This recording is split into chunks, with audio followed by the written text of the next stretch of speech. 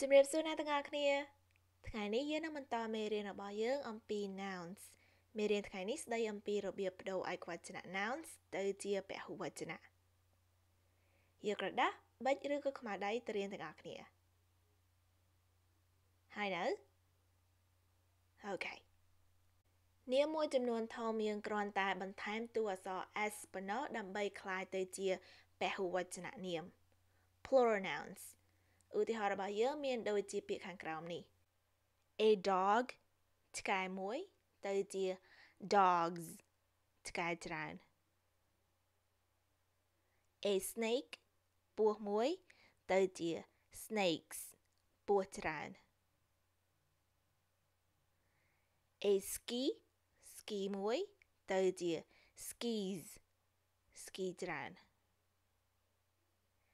a cat ឆ្មាមួយ ទៅជា cats ឆ្មាច្រើន an apple ផ្លែប៉ោមមួយ ទៅជា apples ផ្លែប៉ោមច្រើន an orange ផ្លែក្រូចមួយ ទៅជា oranges ផ្លែក្រូចច្រើន a grasshopper កណ្ដូបមួយ ទៅជា grasshoppers កណ្ដូបច្រើន a girl ក្មេងស្រីម្នាក់ទៅជា girls ក្មេងស្រីច្រើនអ្នក a book សៀវភៅមួយក្បាលទៅជា books សៀវភៅច្រើនក្បាល a pea សណ្ដែកមួយទៅជា peas សណ្ដែកច្រើន a ring ចិញ្ចៀនមួយ ទៅជា rings ចិញ្ចៀនច្រើន a teacher គ្រូម្នាក់ទៅជា teachers គ្រូច្រើនអ្នក a flower ផ្កាមួយតងទៅជា flowers ផ្កាច្រើនតង a blanket ភួយមួយទៅជា blankets ភួយច្រើន a truck ឡានដឹកទំនិញមួយ ទៅជា trucks ឡានដឹកទំនិញច្រើន a tree ដើមឈើមួយ ទៅជា trees ដើមឈើច្រើន a phone ទូរស័ព្ទមួយ ទៅជា phones ទូរស័ព្ទច្រើន an ambition មហិច្ឆតាមួយ ទៅជា ambitions មហិច្ឆតាច្រើន a mountain ភ្នំមួយទៅជា mountains ភ្នំច្រើន an expense ការចាយវាយមួយ ទៅជា expenses ការចាយវាយច្រើនអូខេរូបមន្តទី2របស់យើងគឺការបន្ថែមតួអក្សរ es នៅចុង nouns ណាដែលបញ្ចប់ដោយតួអក្សរ s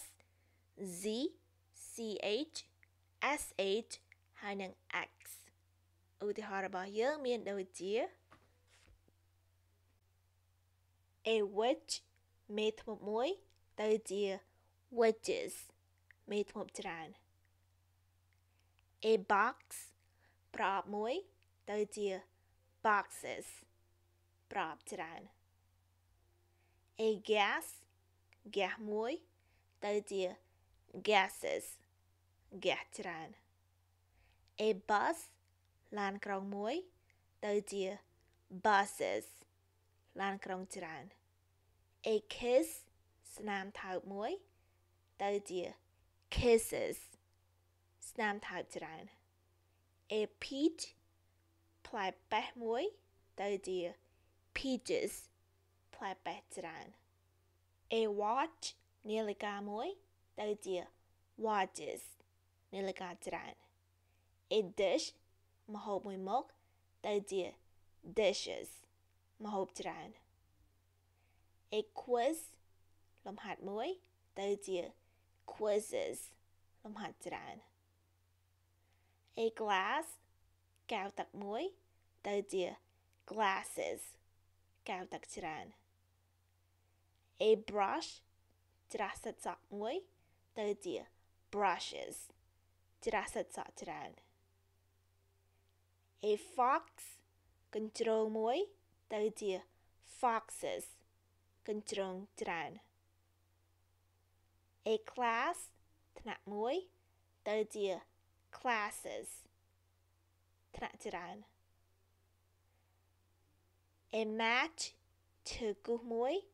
ទៅជា matches ឈើគូសច្រើន a beach ឆ្នេរសមុទ្រមួយ ទៅជា beaches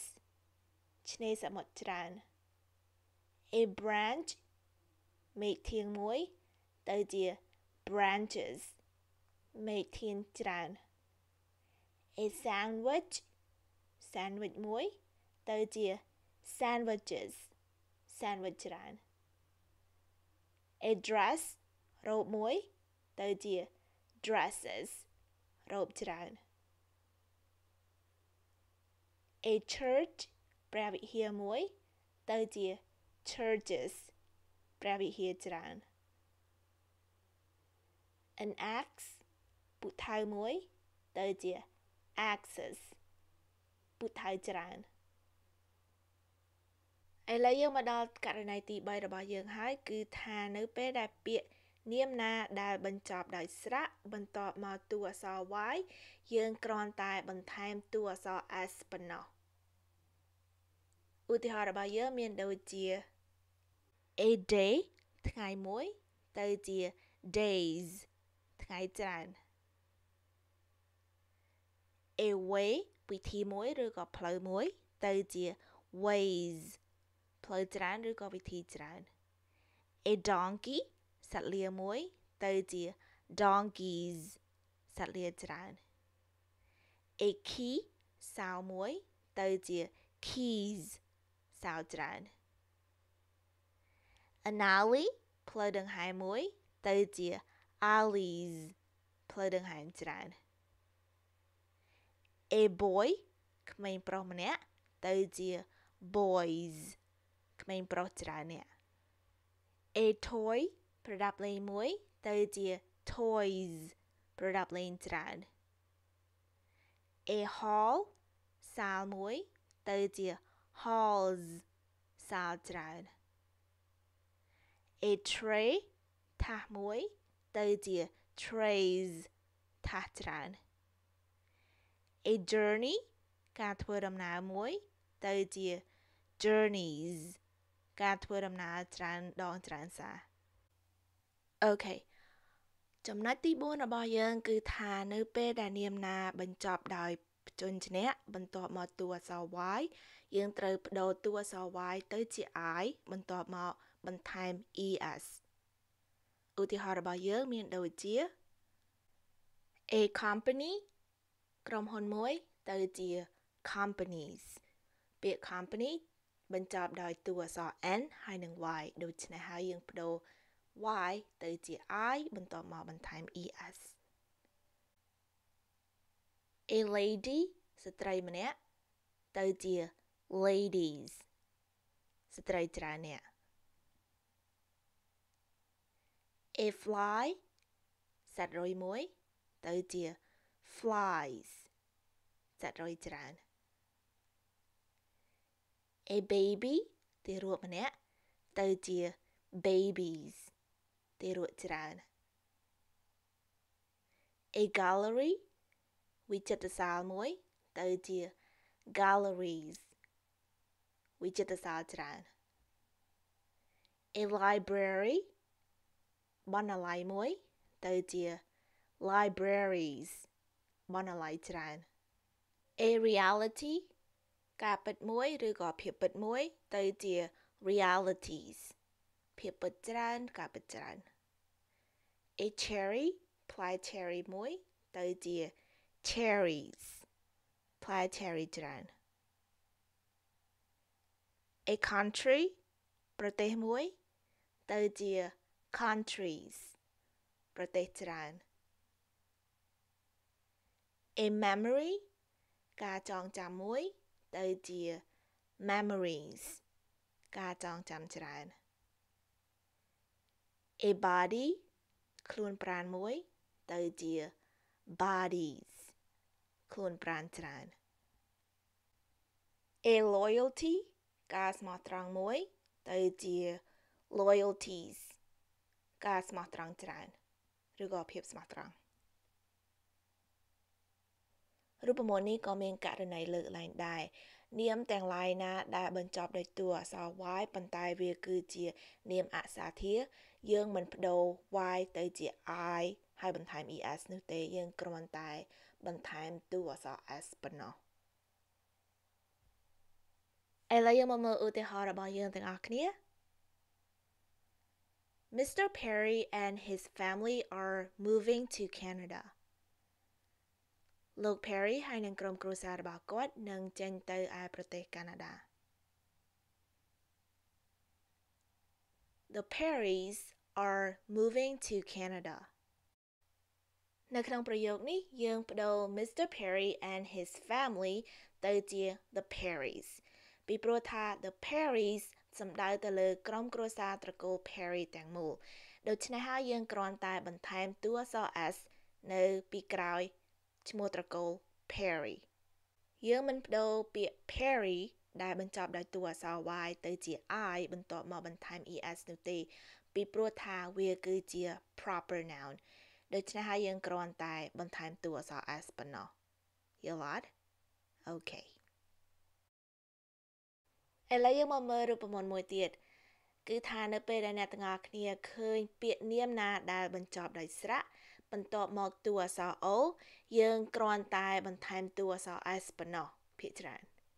ឥឡូវយើងមកមើលឧទាហរណ៍ទាំងអស់គ្នា a radio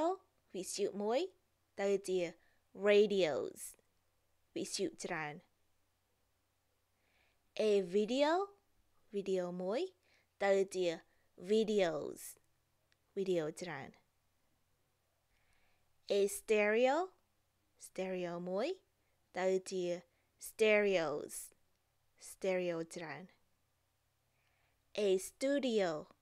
studio មួយទៅជា studios studio ច្រើន an igloo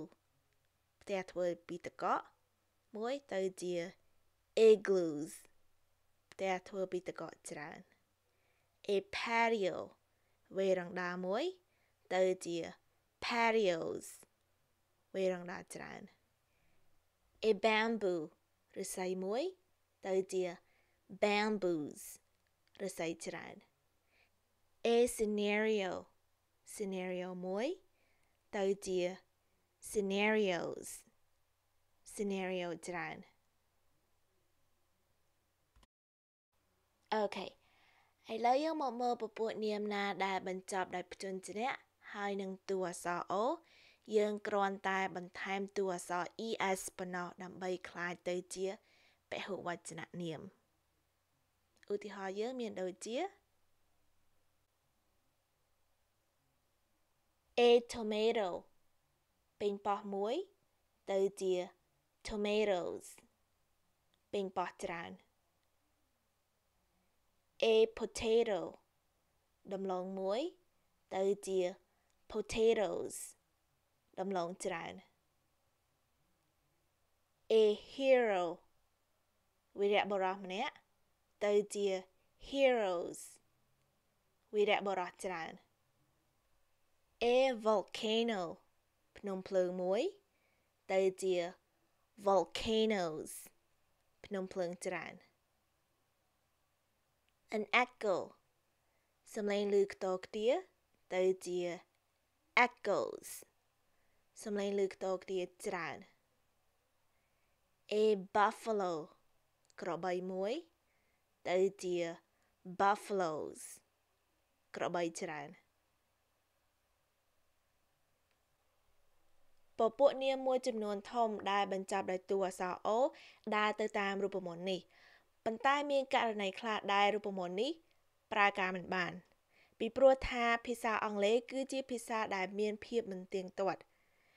ឥឡូវយើងមកមើលពាក្យមួយចំនួនដែលបញ្ចប់ដោយព្យញ្ជនៈបន្ទាប់មកតួអក្សរ o យើងមិនត្រូវបន្ថែមតួអក្សរ es ប៉ុន្តែយើងត្រូវបន្ថែមតួអក្សរ s ទៅវិញតោះយើងទៅមើលទាំងអស់គ្នា A0 លេខ01ទៅជា zeros លេខ0ច្រើន A photo រូបថតមួយសន្លឹកទៅជា photos រូបថតច្រើនសន្លឹក A piano ព្យ៉ាណូមួយទៅជា pianos ព្យ៉ាណូច្រើន A kilo 1គីឡូទៅជា kilos ច្រើនគីឡូ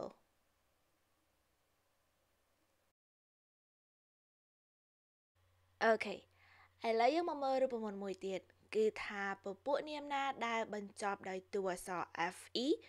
ឬក៏ f យើងបដូរតួអក្សរ f ទៅជា v បន្តមកបន្ថែម es នៅពីក្រោយតោះយើងទៅមើលឧទាហរណ៍ទាំងអស់គ្នា a thief ចោរម្នាក់ទៅជា thieves ចោរច្រើនអ្នក a life ជីវិតមួយ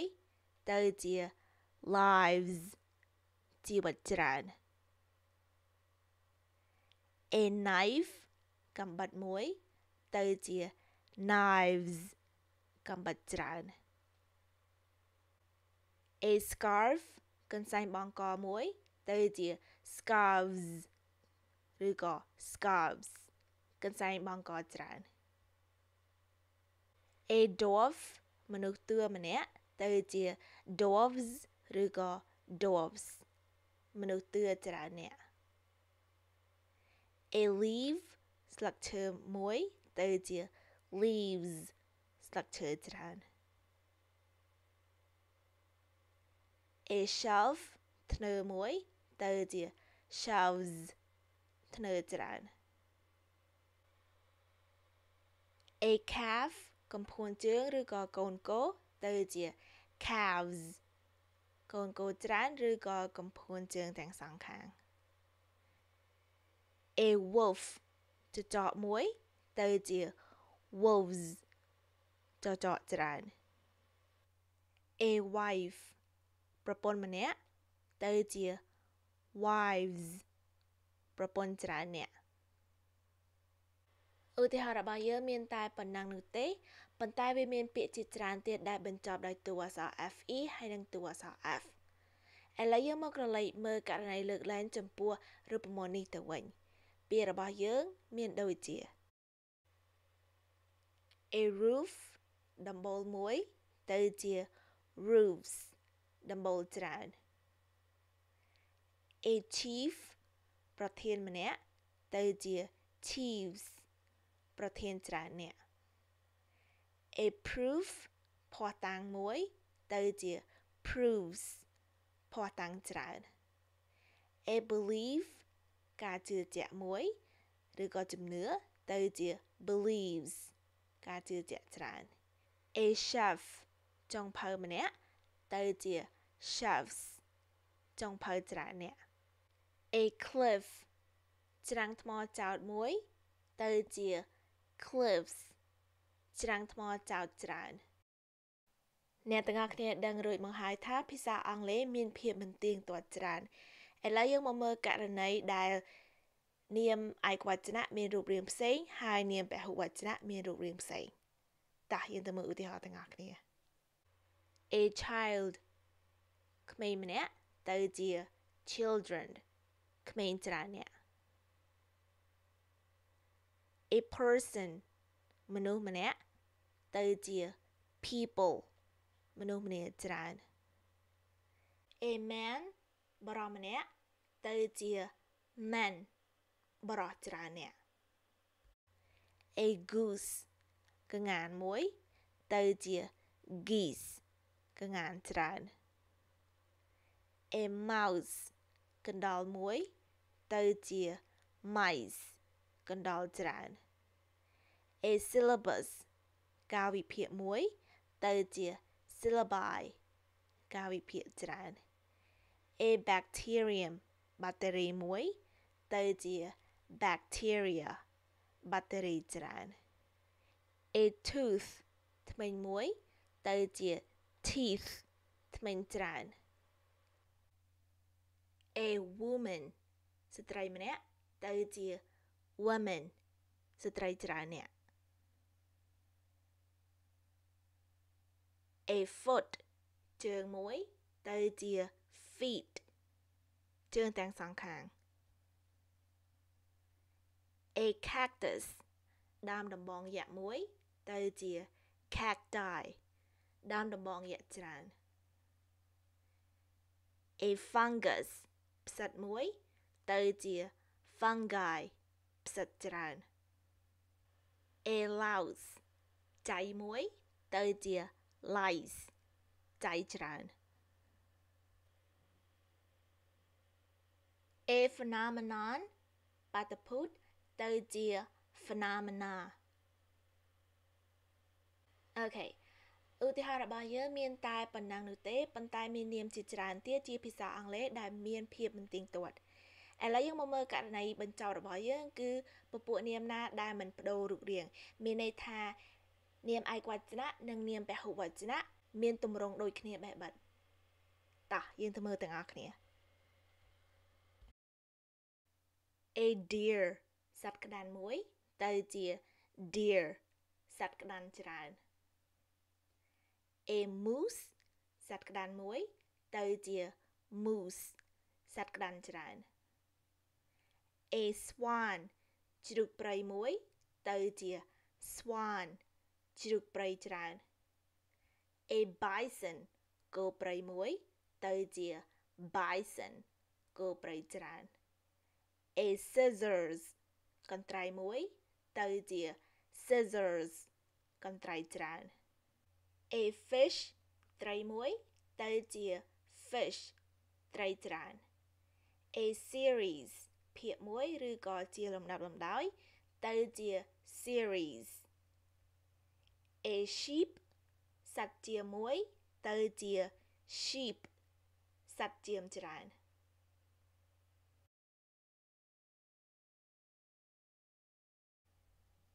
មេរៀនរបស់យើងបានឈានមកដល់ទីបញ្ចប់ហើយនាងខ្ញុំ Moneyline សូមអរគុណអ្នកទាំងអស់គ្នាដែលបានមកទស្សនានៅគេហទំព័រ YouTube របស់នាងខ្ញុំបើសិនជាអ្នកមានចម្ងល់មានសំណួរឬក៏ចង់សំណូមពរមេរៀនអ្វីមួយសូមកុំភ្លេចសរសេរមកនាងខ្ញុំនៅតាមប្រព័ន្ធខាងក្រោម ហើយបើអ្នកទាំងអស់គ្នាចូលចិត្តមេរៀននេះសូមកុំភ្លេចចុច like ហើយបើចង់គាំទ្រនាងខ្ញុំសូមកុំភ្លេច subscribe នៅប៉ុស YouTube របស់នាងខ្ញុំនាងខ្ញុំសូមអរគុណម្ដងទៀតហើយសូមជួបគ្នាថ្ងៃក្រោយជម្រាបលា Bye